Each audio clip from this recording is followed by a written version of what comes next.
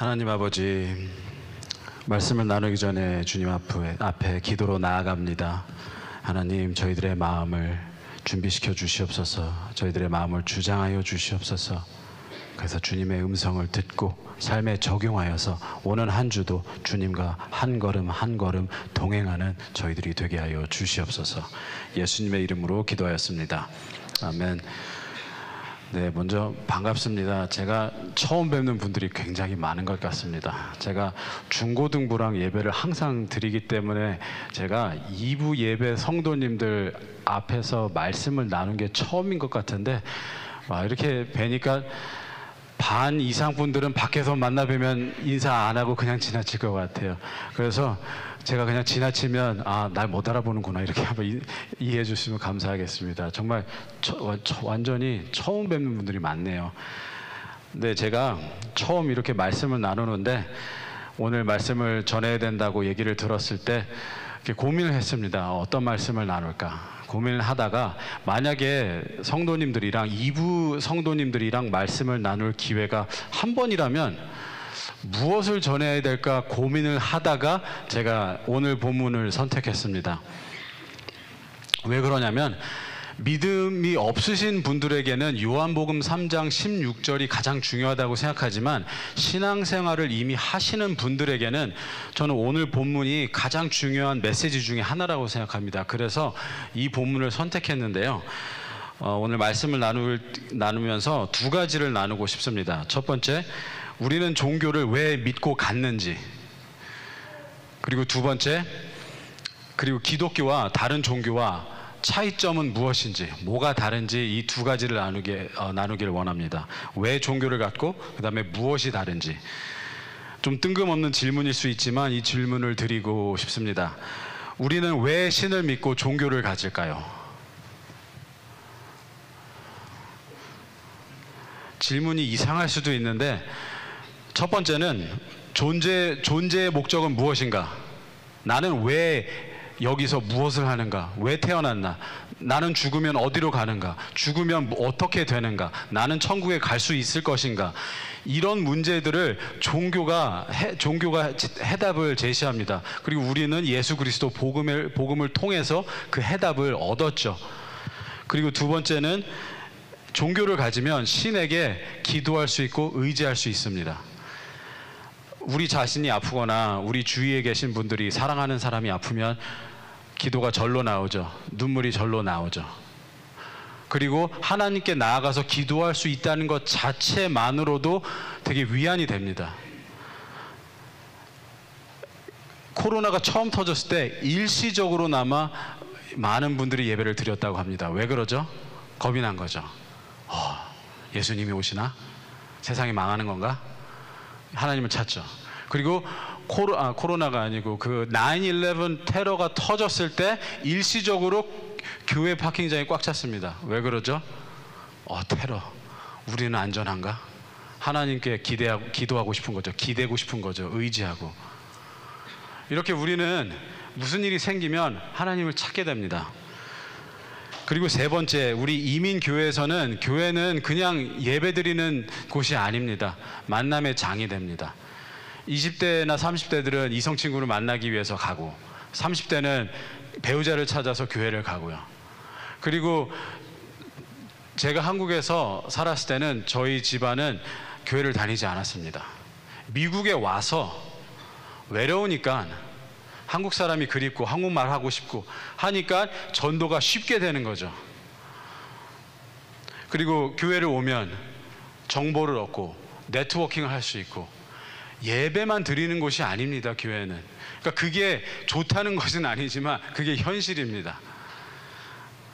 네 번째는 종교의 가르침을 통해서 내가 더 도덕적이고 윤리적인 사람, 더 나은 사람이 될 수 있기를 바라고 그렇게 또 도와줍니다. 왜냐하면 종교를 가진 사람들의 범죄율이 더 낮고 더 많이 기부를 한다고 합니다. 우리는 종교의 가르침을 통해서 우리가 더 나은 사람이 될 수 있다고 생각하고 그리고 더 나은 사회를 이루어 나갈 수 있다고 생각합니다.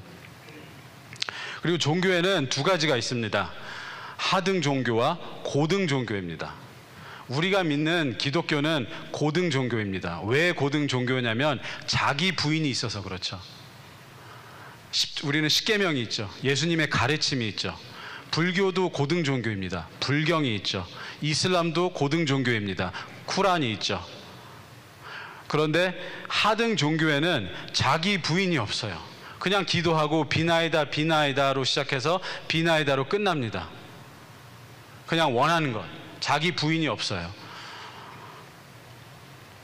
근데 오늘 본문을 보면 우리가 어떻게 하면 더 잘 살 수 있는지 풍요로운 삶을 살 수 있는지 방법을 제시합니다. 다른 종교와 마찬가지로 하나님을 믿으면 우리가 더 풍요롭게 살 수 있는데 그 방법이 오늘 본문 안에 있습니다. 창세기 2장 5절을 살펴보겠습니다. 여호와 하나님이 땅에 비를 내리지 아니하셨고 땅을 갈 사람도 없었으므로 들에는 초목이 아직 없었고 밭에는 채소가 나지 아니하였으며 인간에게 가장 필요한 것이 무엇이죠? 의식주죠. 근데 지낼 곳은 아직 없죠. 왜냐하면 에덴 동산이 없기 때문에. 그리고 가장 또 필요한 게 뭐죠? 먹을 것이죠. 근데 여기를 보면 5절 말씀을 보면 비가 내리지 않았기 때문에 채소와 과일이 없다고 합니다. 아직 먹을 게 없어요. 이때 고기를 먹었는지 안 먹었는지는 모르지만 아직 먹을 게 없어요. 왜죠? 비를 내리지 아니하셨기 때문에. 근데 비가 왜 아직 안 내렸을까요? 하나님이 방법을 모르셨을까요? 아니면 계획에 없던 일이 생긴 걸까요? 6절에 보면 하나님이 계획적으로 비를 내리지 아니하셨다고 나옵니다. 어떻게 알 수 있냐면 6절에 안개만 땅에서 올라와 온 지면을 적셨더라 이렇게 합니다. 나옵니다. 비가 어떻게 내리죠? 땅에서 수증기가 올라오죠. 그러면 수증기가 하늘로 가죠. 그러면 수증기가 구름이 되죠. 그리고 구름이 생기면 비가 내리죠. 그런데 아직까지는 수증기가 하늘로 안 올라갔는지 구름이 형성이 안 됐는지 땅에서는 올라와요. 그런데 비는 안 내려요. 하나님이 hold를 시키는 걸 hold 시키시는 걸 볼 수 있죠. 아직 아니야. 때가 아니야. 그 다음에 우리 인간이 살면서 필요한 게 뭐죠? 안정적인 직장이죠. 근데 아담의 직장이 뭐라고 이렇게 쓰여져 있지는 않지만 우리가 추측해 볼 수 있는 것은 아담의 직장 직업이 아마 정원사였을 것입니다. 나무를 가꾸고 밭을 가꾸고 그런데 아직까지 비가 안 내려서 할 일이 없어요. 필요가 채워지지가 않아요. 인간이 살기에 필요한, 필요한 것들이요. 왜죠? 하나님께서 아직 때가 안 됐기 때문에 hold 하신다는 걸 알 수 있습니다. 2장 8절을 이제 읽어보겠습니다. 여호와 하나님이 동방의 에덴의 동산을 창설하시고 그 지으신 사람을 거기 두시니라. 9절도 읽겠습니다. 여호와 하나님이 그 땅에서 보기에 아름답고 먹기에 좋은 나무가 나게 하시니 동산 가운데에는 생명나무와 선악을 알게 하는 나무도 있더라. 에덴 동산을 만드셨죠. 그리고 사람이 창조되었고 동산에 사람이 살기 시작했어요. 그리고 나서 무엇이 생겼죠? 비가 내렸어요. 그리고 나무가 생겼어요. 순서를 정확히 지키시죠. 그리고 나서 이 순서를 지키시려고 지키시려고 홀드하시고 아담이 생긴 후에 그 다음에 비를 내시고 내리시고 직장이 생겼어요. 나무가 자라서 나무 초목을 가꿀 게 생겼어요. 직장이 생겼어요. 먹을 게 생겼어요. 살 곳이 생겼어요. 의식주가 다 해결됩니다. 그러면 이 부분을 우리 삶에 적용해 보겠습니다. 하나님은 우리 삶에 필요한 나무, 과일, 채소, 비, 그 모든 것을 이미 다 알고 계시고 우리 한 사람 한 사람이 지금 무엇을 필요로 하는지 알고 계시고 준비하고 계세요. 수증기가 땅에서 계속 올라오는 것처럼 비는 안 내렸지만 이미 방법을 알고 계세요. 준비하고 계세요. 그런데 문제는 우리가 에덴 동산에 있느냐는 것입니다. 에덴 동산에 있으면 비가 내릴 겁니다. 그럼 우리가 에덴 동산에 있는지 없는지 어떻게 할까요? 첫 번째는 예수님의 통치를 받는 것입니다. 우리가 예수 그리스도를 구주라고 믿죠. 그분이 우리의 주님이면 우리가 그분의 통치를 받아야 합니다. 그분의 통치를 받는다는 게 무슨 뜻이죠? 하나님의 말, 말씀을 읽고 묵상하고 순종하는 것입니다. 적용하는 것입니다. 매일매일 말씀을 읽으시면서 적용하려고 노력하십니까? 그리고 우리가 노력 해도 안 될 때가 거의 매일입니다. 회개하십니까? 하나님의 통치를 안 받는 분들은 회개하지 않습니다. 두 번째는 하나님의 은혜로 우리의 필요가 채워진다고 우리는 믿고 간증을 합니다. 그리고 하나님의 도움의 손길을 받으신 적이 있습니까? 그리고 그것이 최근입니까? 아니면 10년 전, 20년 전입니까? 하나, 에덴 동산에 지금 거하고 있고 하나님의 통치를 받고 있다면 최근에 하나님의 도우심을 받은 적이 있어야 있는 게 정상입니다. 그리고 우리는 그것을 가지고 전도를 하는 거죠. 간증을 하는 거죠. 하나님이 살아있는지 어떻게 알아? 내 삶 가운데 하나님이 이렇게 역사하셨어 하고 간증을 할 수 있는 것이죠. 내가 에덴 동산에 살고 있는지 내 삶 가운데 비가 내리고 있는지 간증할 것이 있는 없는지를 통해서 우리가 추측해 볼 수 있습니다. 지금 제가 창세기 2장 말씀을 이렇게 나누고 있는데 저 말이 진짜야? 어디서 억지로 이렇게 끼워 맞추고 억지로 만들어낸 얘기 아니야? 이렇게 생각하실 수도 있는데 제가 여태까지 지금 10분 동안 드린 말씀을 예수님께서 한 문장으로 그냥 정리하셨어요. 한 문장으로. 마태복음 6장을 보겠습니다. 6장 33절. 그런즉 너희는 먼저 그의 나라와 그의 의를 구하라. 그리하면 이 모든 것을 너희에게 더하시리라. 깔끔하죠. 한 문장으로 그냥 예수님께서 정리하셨습니다. 그의 나라와 의를 구한다는 말이 무슨 말일까요? 하나님의 통치를 받는 삶을 살고 그리고 다른 분들도 하나님의 통치를 받을 수 있도록 전도하고 양육하고 그리고 의를 구한다는 것, 내 삶 가운데 직장에서 가정에서 하나님 뜻대로 살고 이 사회에서 내 개인적인 삶에만 국한된 것이 아니고 이 사회에서 하나님의 정의가 구현될 수 있도록 노력하고 싸우는 것이죠. 그래서 소외된 자들, 가난한 자들, 예수님이 하셨던 것처럼. 그래서 우리 교회에 캠든 사역이 있잖아요. 이런 일을 하는 것이죠. 이런 일을 하면 예수님께서 그리고 하나님께서 복을 주시겠다고 필요한 것을 다 채워 주시겠다고 구약에서 신약에서 말씀하셨습니다. 제가 2007년에서 8년에 토요일 아침마다 맨하탄에 가서 노방 전도를 했는데요. 저 혼자 한 것은 아니고 노방 전도하는 단체가 있었어요. 이 단체의 그 목적이 무엇이었냐면 굳이 해외로 나가서 선교할 필요 없이 맨하탄에 연, 매년 연간 800만 명이 오는데 오는 사람들한테 복음을 전하자. 그래서 도시 선교라고 그랬습니다. 오는 가, 굳이 갈 필요 없이 오는 사람들한테 복음을 전하자 그래서 도시 선교였는데 제가 이곳을 1년 동안 다녔는데 이곳에서 스무 살 된, 스물에서 스물한 살 된 청년을 만났는데요. 이 청년이 한국에서 방황을 하던 친구였어요. 고등학교를 자퇴하고 검정고시를 보고 부모님이 좀 이렇게 부유하시니까 여유가 있으셔서 그런지 미국 가서 공부해라 하고 유학을 보내셨어요. 근데 이 매주 전도하는 게 정말 쉽지 않습니다. 비 올 때도 나가고요. 눈 올 때도 나가고요. 더울 때도 나가고. 11시부터 나가지만 그 전에 같이 기도하고 말씀을 묵상하고 나갑니다. 그리고 11시부터 3시까지 하는데 3시에 돌아와서 다 정리하고 같이 사역 어땠는지 나누고 간증하고 같이 중보 기도 하고 이렇게 마치면 4시가 넘어서 끝나요.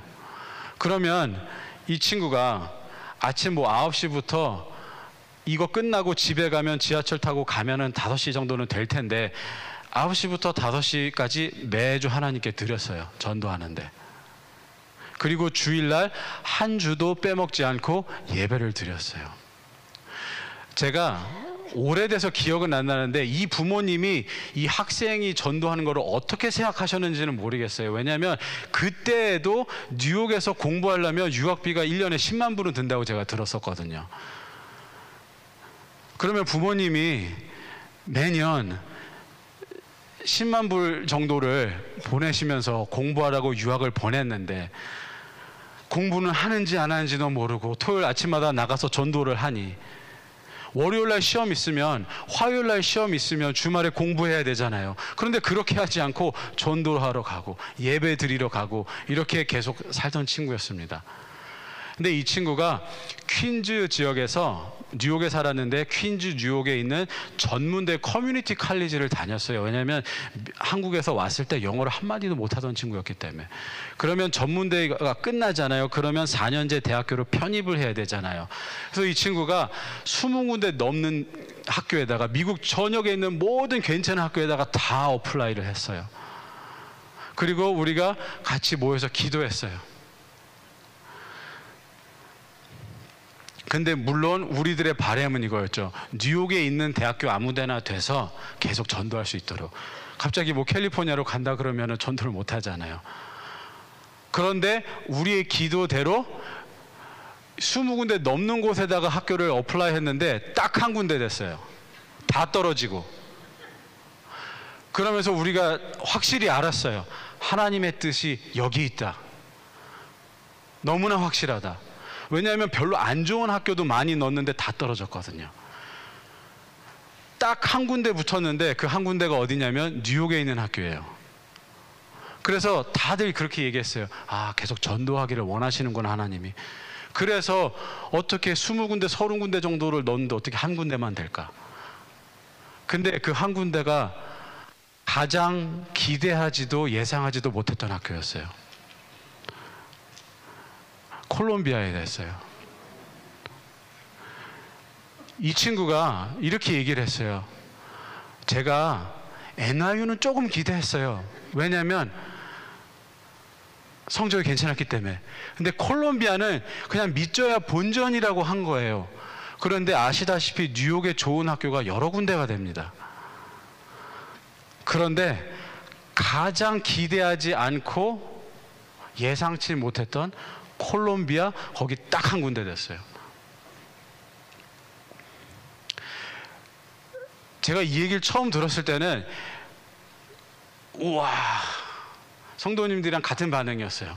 와, 저 뉴욕 퀸즈 커뮤니티 칼리지에서 콜롬비아로 와 이랬어요. 그런데 제가 그때쯤에 북부 뉴저지에 있는 대형 교회를 다녔었는데 거기서 정말 신실한 청년들을 많이 만났어요.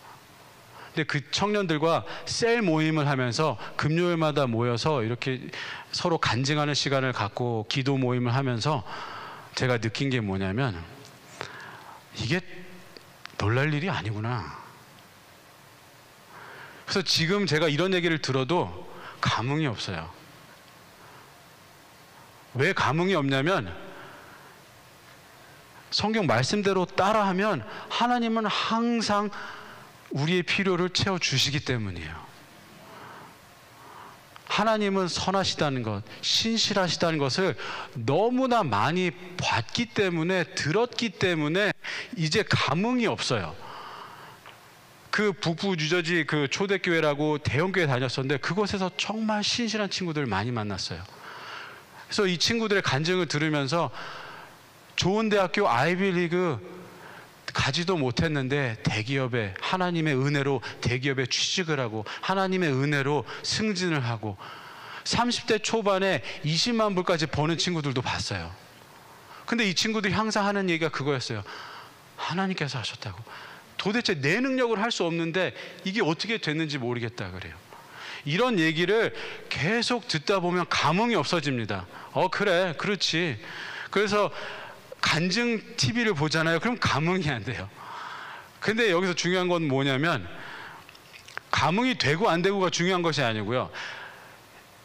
이런 신실하신 하나님을 선하신 하나님을 내 삶 가운데 체험하고 있느냐는 거죠. 나는 경험하고 있나?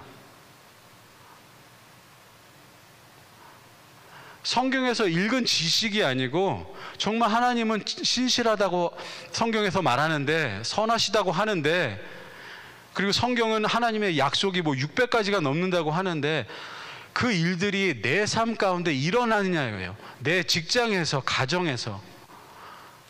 그래서 간증할 것이 있는 중요한 것이죠. 하나님의 도우심을 받으면 여러 가지 장점이 있습니다. 그냥 실질적인 이런 도움, 직장 뭐 이런 것뿐만 아니라요. 정서적으로 정신적으로 풍요롭게 살 수 있습니다. 첫 번째 우리는 자족하는 법을 배웁니다. 기도를 많이 해보시고 신앙생활을 오래 하셨던 분들은 아시겠지만 아무리 기도해도 매일 기도해도 안 되는 것들이 있어요. 그것을 통해서 자족하는 법을 배웁니다. 어, 필요한 것은 주셨는데 왜 내가 원하는 것은 안 채워지지? 이게 계속 기도해도 안 되면 아 하나님께서 허락하시는 부분이 딱 거기까지인가 보다 하고 자족하는 법을 배웁니다. 그런데 사람들은 자족하는 법을 배우지 못해서 감사를 모르고 살죠. 두 번째는 인내심을 인내하는 법을 훈련받습니다. 오늘 성경 말씀에서 봤다시피 사람이 에덴 동산에 없으면 비를 내리지 아니하셨어요. 하나님은 순서와 때를 꼭 지키십니다.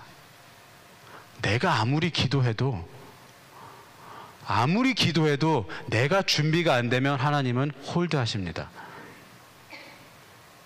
때가 아니면 내가 에덴 동산에 거하고 있지 않으면 때가 아니면 하나님은 비를 내리지 아니하십니다. 그러면서 인내하는 법을 배웁니다. 하나님 언제까지입니까?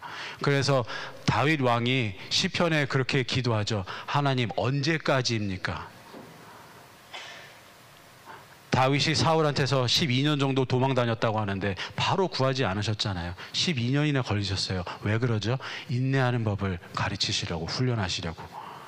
그런데 이 인내심을 배우면 훈련 받으면 다른 데서도 사용할 수 있습니다. 가정에서, 직장에서 우리가 인내심이 없어서 싸우는 거잖아요. 인내심이 없어서 이러면서 풍요로운 삶을 살 수가 있어요. 그리고 세 번째로 하나님의 도우심을 계속 받으면 우리는 시기, 질투 이런 것을 하지 않습니다. 아는 사람이 땅을 사도 배가 아프지 않아요. 오히려 그 사람을 존중할 수 있어요. 아, 저분도 에덴 동산에 있어서 하나님의 때가 돼서 복을 받았구나. 인정하고 존중할 수 있어요. 근데 수많은 기독교인들이 어떻게든 남을 끌어내리려고 흠집을 내려고 하는 걸 얼마나 많이 보는지 모릅니다. 그런데 하나님의 도우심을 계속 받다 보면 아 이번에는 저분의 타이밍이구나. 지난번에 내 타이밍도 왔었는데 이번에는 저분의 타이밍이구나 하고 내 타이밍을 타이밍을 기다리지 남을 깎아내리려고 하지 않습니다. 그리고 네 번째로 인생이 뜻대로 안 풀릴 때 어려운 일을 겪을 때 넘어졌을 때 딛고 일어설 수 있는 소망이 생깁니다. 예전에 하나님께서 도와주셨는데 왜 이번엔 안 해주시겠어? 경험이 있기 때문에 믿음을 가질 수가 있습니다. 우리가 이런 걸 학습 효과라고 하잖아요. 예전에 계속 하나님의 도우심을 경험한 사람들은 지금 현재 어려움이 와도 그 다음에 하나님께서 또 도와주실 거야 하고 우리가 평강을 유지할 수 있는 거죠. 우리가 왜 실망하고 배 아파하고 힘들어하죠? 내 노력으로 하려고 했는데 안 되니까 남이 더 잘하니까 배 아프고 시기 질투하고 끌어내리려 하고 흠집을 내려는 것이죠. 이렇게 풍성한 삶을 살 수 있는데 왜 많은 기독교인들이 살지 못할까요?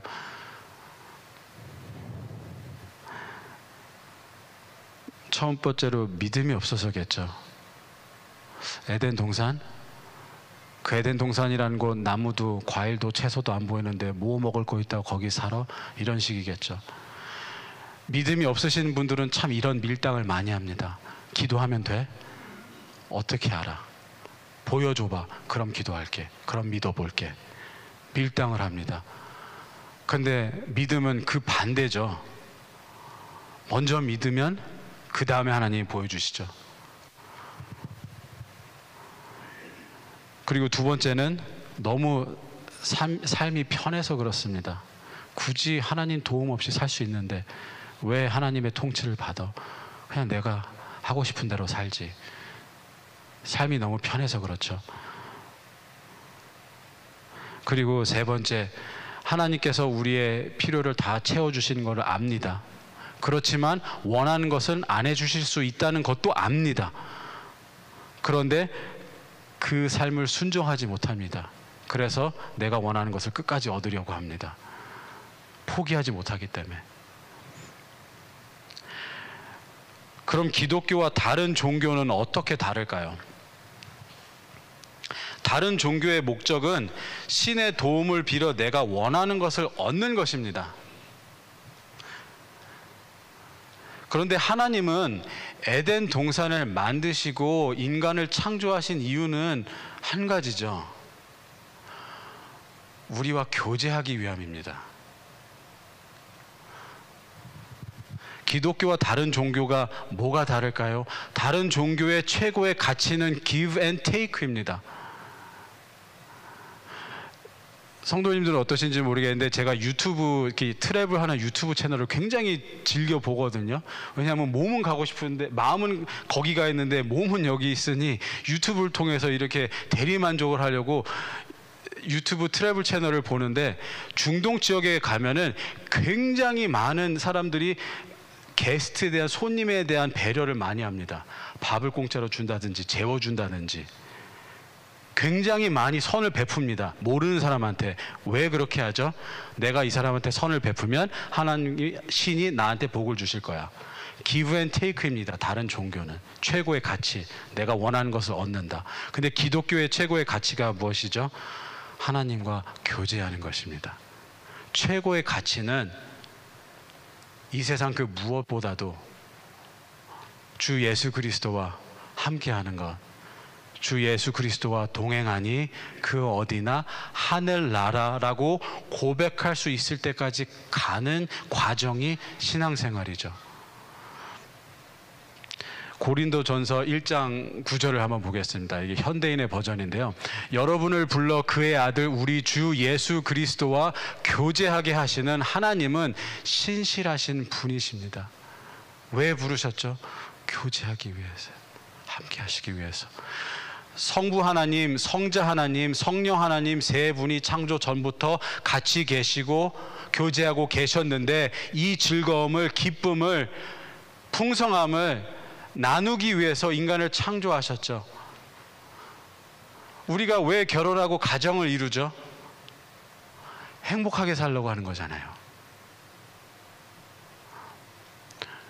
가정을 행복하기 위해서 더 풍성한 삶을 누리기 위해서 결혼하고 가정을 이루듯이 하나님도 우리와 교제하시기 위해서 인간을 창조하신 것이고 그렇기 때문에 우리의 최고의 최고 가치는 그분과 교제하는 것입니다.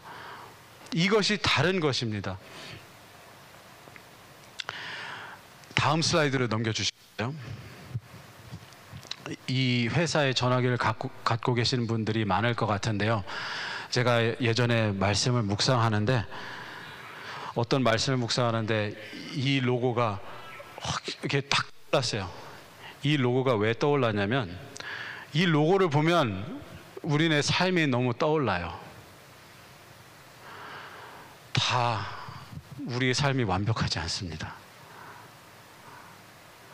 다 한 가지씩, 두 가지씩 부족하고 다 결핍이 있고 채워지지 않는 게 있고 아무리 노력해도 결핍을 다 갖고 살아요. 그게 경제적인 부분일 수도 있고 뭐 대인 관계가 안 될 수도 있고 부모 자식 간에 문제가 있을 수도 있고 교회에서 문제가 있을 수도 있고 건강일 수도 있고 모두 다 한 가지씩 문제를 갖고 살아요. 그런데 우리는 이 한 가지가 채워지지 않아서 풍성하게 행복하게 살지 못합니다.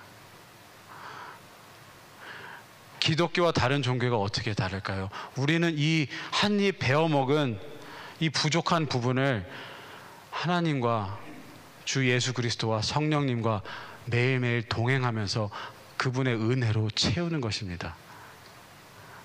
말씀을 묵상하면서 기도하면서 그분이 주신 은혜로 비록 내가 몸은 안 좋을지라도 비록 장사는 안 될지라도 비록 내가 하는 일은 안 될지라도 내가 원하는 건 안 될지라도 왜 이렇게 내 말을 안 될지 답답할지라도 그분의 은혜를 받으면서 살아가는 것이죠. 결론과 적용을 나누겠습니다. 하나님과 동행하는 삶의 기쁨을 알고 계십니까? 예배의 즐거움 누리고 계십니까? 예배가 즐겁습니까? 기도의 맛을 아시고 성경 말씀을 묵상하는 그 맛을 아십니까? 완벽한 타이밍에 우리의 필요를 항상 채워주시는 하나님이 우리의 아버지이신데 그분의 도움을 받고 계십니까? 그리고 간증할 것이 있으십니까? 살아계신 하나님이 도와주시고 싶어 하고 그 방법이 성경 말씀에 쓰여 있는데 도움을 받아야 하지 않을까요? 풍성한 삶을 살기를 원하시는데 살아야 되지 않을까요? 저는 이러한 이유 때문에 신앙생활을 하신 분들에게는 오늘 본문이 가장 중요한 메시지 중에 하나라고 생각합니다. 왜냐하면 첫 단추가 잘 끼어 있어야 되잖아요. 만약 매일 주일 예배를 드리지 않으시는 분이 계시다면 매주 예배를 드리시는 데부터 시작하시기 바랍니다. 매주 예배를 드리신다면 매일 기도하시고 말씀을 읽으면서 그분의 음성에 귀를 기울이십니까? 예배만 매주 드리는 것에 그친다면 거기서부터 시작하시기 바랍니다. 만약 매일 성경을 묵상하시고 기도하신다 그러면 하나님의 의를 구하고 계십니까? 소외된 자, 아픈 자, 고통받는 사람을 돕고 계십니까? 중보 기도를 하십니까? 하나님의 나라는 교회를 통해서 확장되고 있습니다. 예수님의 몸 대신 교회의 한 부분이 되셔서 교회를 섬기시고 그분의 신실하심을 체험하시기를 예수님의 이름으로 축원합니다. 그럼 같이 기도하겠습니다.